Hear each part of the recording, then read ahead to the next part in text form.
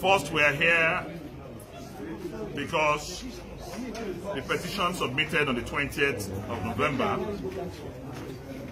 have not gotten any attention of the Independent National Electoral Commission. I have not been invited. There is no any announcement to public knowledge that the, a panel is set up to investigate or look into my petition. So that necessitates a second petition that I've just submitted this morning. And the petition submitted this morning have additional facts from what we submitted on the 20th of November 2019. And I want to say emphatically that I want to believe that the national chairman and indeed the national uh, commissioners of INEC do not have some of the facts we have submitted today.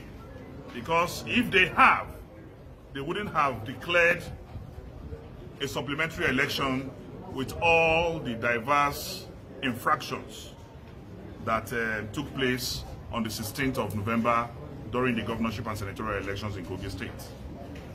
What is new in what we submitted today is that we have attached a copy of the Form EC8B of Ward A in Lokoja local government, where INEC on our own, through our own collation, cancelled nine units of the 23 units in Ward A in Lokoja.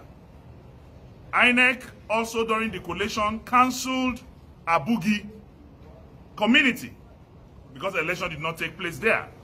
INEC also cancelled Cooper South. INEC also cancelled Ole with code number 004.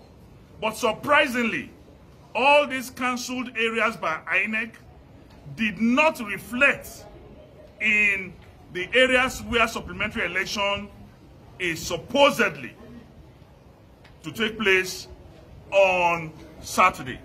So we are saying that how can INEC cancel places during the collation and election and they will now be absent among the areas stipulated for the supplementary election. We believe this is an aberration. We believe that the INEC chairman cannot know about this and allow it to, to stay.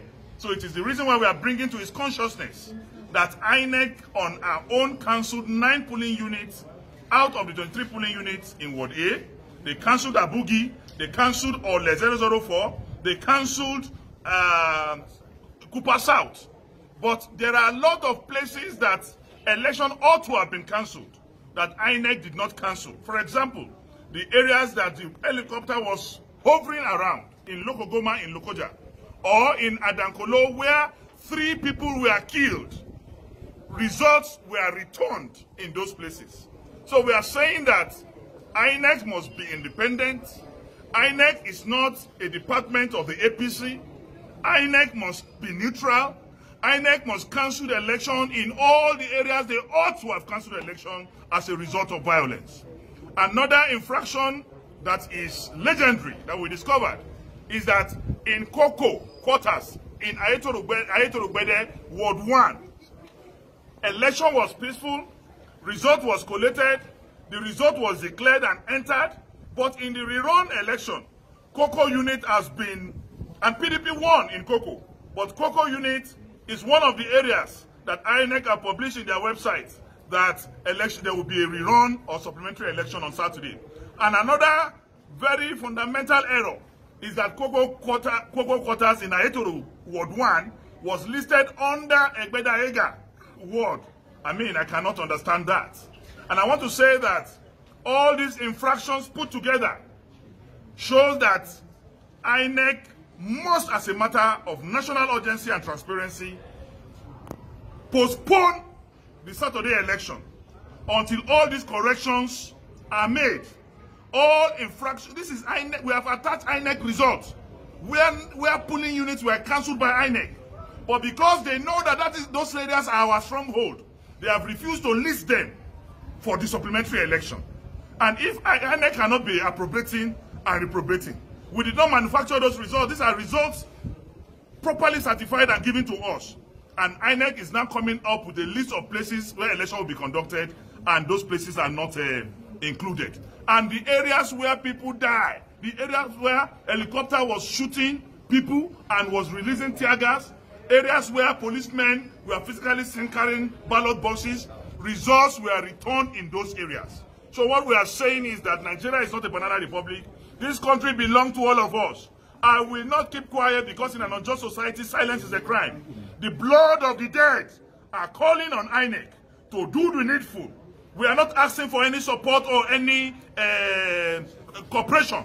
Well, all we are asking is that INEC be transparent, INEC, INEC be independent like our name, and to conduct elections in all areas where there were crises, where ballot, ballot, ballot box buses were carted away, and where they themselves have cancelled. And you can also see that all the areas have been listed in our petition last week and now that INEC must look into our petition. We submitted petitions since 20th. Surprisingly, 12 hours after the submission of our, uh, of our petition, INEC came out with a timetable and announcement for supplementary election. This automatically shows that as if they are working under instructions. But we are now saying that INEC must prove to be independent. INEC must prove that they have some iota of integrity in them by making sure that they conduct election on Saturday in all areas that have been cancelled and areas where violence took place.